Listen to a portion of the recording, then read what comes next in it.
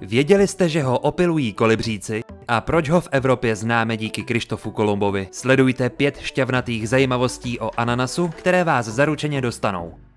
Za prvé, ananas neroste na stromě. Ananasovník je přízemní rostlina. Uprostřed růžice tuhých listů vyrůstá plod. Sladký ananas. Celý proces trvá 2 až 3 roky a rostlina poté většinou umírá. V přírodě ananasovníky opilují svými dlouhými zobáčky kolibříci. Pěstují se hlavně v tropických oblastech, jako je například Tajsko nebo Brazílie. Ananasy ale najdete i v Evropě, třeba na Azorských ostrovech.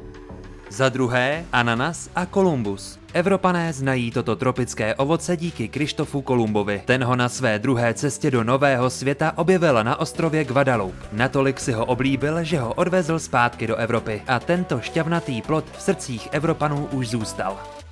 Za třetí, zásobárna vitamínů a minerálů.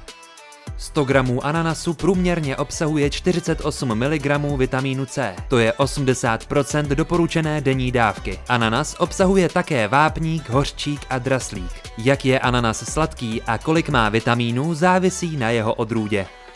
Za čtvrté zázračný bromelin.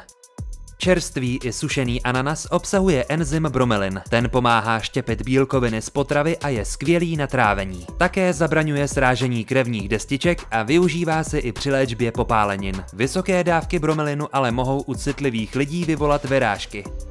Za páté, může být jedovatý. Nezralý zelený ananas je nejedlý a dokonce jedovatý. Proto se ananasy sklízí, až když jsou téměř úplně zralé. Utržené sice ještě částečně dozrají, ale sladkost se už nezmění. Jak ho koupíte, tak bude sladký, až ho budete jíst. Tak co, dozvěděli jste se o ananasu něco nového? Pro další ovocné zajímavosti sledujte naše videa.